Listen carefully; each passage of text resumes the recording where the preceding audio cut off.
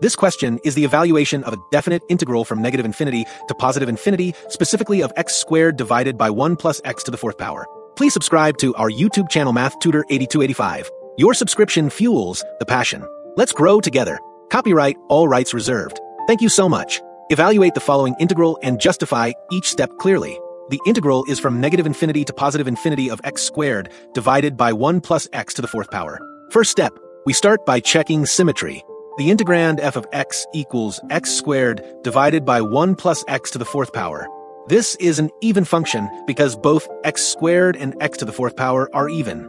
Therefore, the original integral equals 2 times the integral from 0 to infinity of x squared divided by 1 plus x to the fourth power. Next step is substitution to simplify. We set t equal to 1 over x. Then x equals 1 over t, and dx equals negative 1 over t squared times dt. When x approaches 0 from the positive side, t approaches infinity. When x approaches infinity, t approaches 0 from the positive side. Thus, the integral from 0 to infinity of x squared divided by 1 plus x to the fourth power dx becomes the integral from infinity to 0 of 1 over t squared divided by 1 plus 1 over t to the fourth power multiplied by negative 1 over t squared dt. Then, next step, we simplify fraction.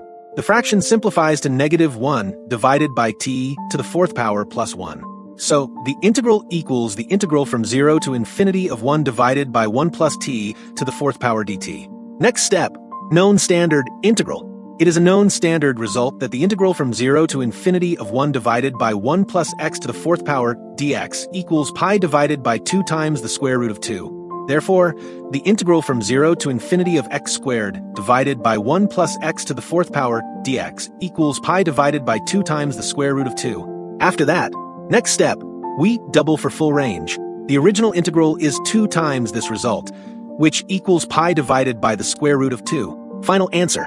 The integral from negative infinity to positive infinity of x squared divided by 1 plus x to the fourth power equals pi divided by the square root of 2. Key idea.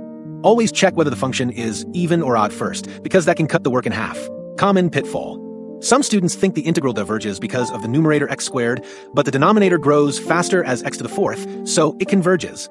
When you see rational functions with numerator and denominator involving powers of x, try the substitution x equals 1 over t. This often uncovers hidden symmetry. That's it for this question solving.